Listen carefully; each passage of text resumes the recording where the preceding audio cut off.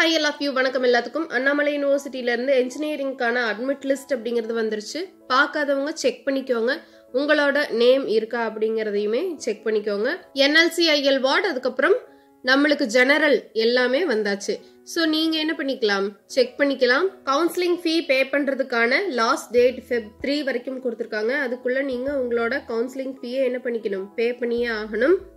இதுக்கு அப்புறம் உங்களுக்கு என்ன ஒரு டவுட் இருந்தாலுமே யூனிவர்சிட்டியை காண்டாக்ட் பண்ணுங்கள் லிஸ்ட்டில் நேம் இல்லை இந்த மாதிரியான இஷ்யூஸ் இருந்தாலும் கண்டிப்பாக யூனிவர்சிட்டியை காண்டாக்ட் பண்ணிடுங்க ஃபெப் த்ரீ வரைக்கும் வெயிட் பண்ண வேண்டாம். சீக்கிரமே உங்களுக்கான ஃபீயை பே பண்ணிடுங்க ஃபிஷரிஸ்க்கு நெக்ஸ்ட் வீக்குள்ள உங்களுக்கு அடுத்த அப்டேட் அப்படிங்கிறதும் வந்துடும் கவுன்சிலிங் ஃபீ பே பண்ணுறதுக்கு ரெடியாக இருந்துக்கோங்க. அதுக்கப்புறம் ஃபார்மசி அப்படிங்கிறதுமே வந்துடும் லாஸ்டா தான் நம்மளுக்கு அக்ரி ஹார்டியை எதிர்பார்க்கலாம்.